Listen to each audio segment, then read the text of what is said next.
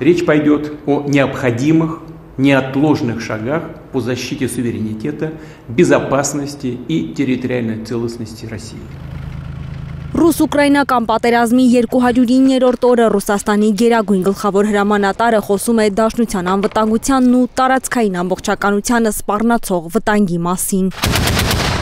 Վլադիմիր Պուտինը պատերազմից մոտ 7 ամիս անց առաջին անգամ երկրում մասնակի զորահավաք է հայտարարել։ Оно в полной мере адекватно угрозам, с которыми мы сталкиваемся։ Կայացրածս որոշումը լիովին համարժեք է մեր արջև ծառացած սպառնալիքներին։ Մենք պետք է պաշտպանենք մեր հայրենիքը, մեր ժողովրդի անվտանգությունը եւ ազատագրված տարածքները։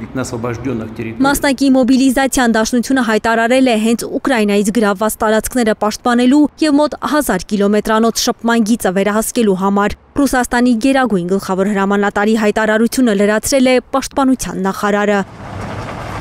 Մոտ 300 հազար պահեստազորային է մեկնելու ռազմաճակատ, որը ըստ Շոյգուի Ռուսաստանի 25 միլիոնանոց պահեստազորային ռեսուրսի ընդամենը 1.1 տոկոսն է։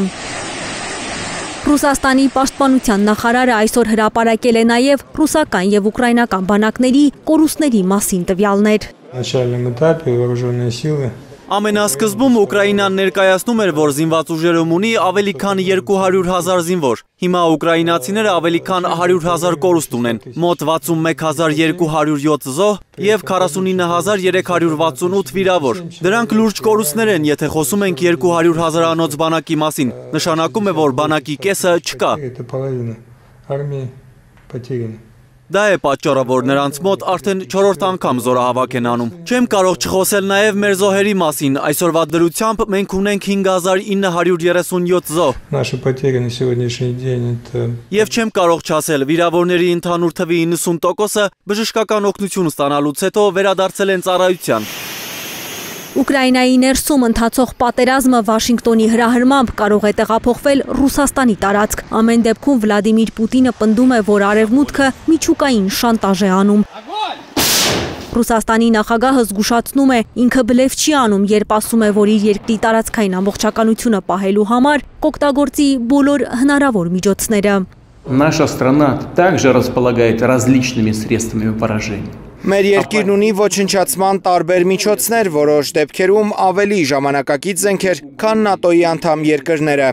Երբ մեր երկրի տարածքային ամբողջականությունը վտանգվի, մենք կօգտագործենք մեր տրամադրության տակ եղած բոլոր միջոցները, ու սա բլեֆ չէ։ Это не блеф։ Պուտինի խոսքով Միացյալ Նահանգների ու Եվրոպայի ռուսաֆոբ լինելու պատճառով է այսօր Ուկրաինան դարձել ռազմական գործողությունների թատերաբեմ։ Цель этого Запада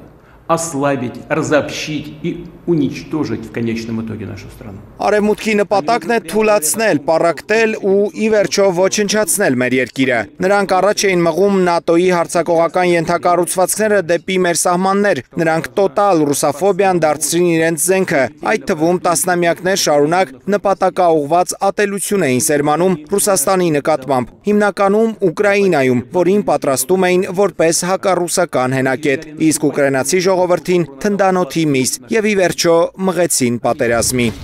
Ռուս-ուկրաինական ռազմաճակատը ըստ պաշտպանության նախարար Շոյգուի արդեն վաղուց է վերածվել արևմուտք Ռուսաստան արճակատման։ Мы на сегодняшний день э, воюем не уже столько с э, Украиной, украинской армией, сколько с коллективным Западом։ Այսօր մենք պատերազմում ենք ոչ այնքան Ուկրաինայի, ուկրաինական բանակի, որքան հավաքական արևմուտքի հետ։ Եվրոպական շատ երկրներ, որոնք ունեցել են խորհրդային արտադրության զենքեր, եւս մաքրել են իրենց պահեստները, դրանք հանձնելով Ուկրաինային։ Բայց մենք անընդհատ դրանք շարքից հանում ու հանում ենք, եւ արդեն եկել է պահը, երբ մենք իրականում պատերազմում ենք հավաքական արևմուտքի դեմ։ Դաշնության ռազմաքաղաքական ղեկավարությունը վստահեցրել է իր բնակիչներին։ Ռուսաստանը ի վիճակի է պաշտպանել իրենց անվտանգությունը դաշնության տրամադրության տակ եղած բոլոր միջոցներով։ Հասմիկ Սերոփյան, Հայլուր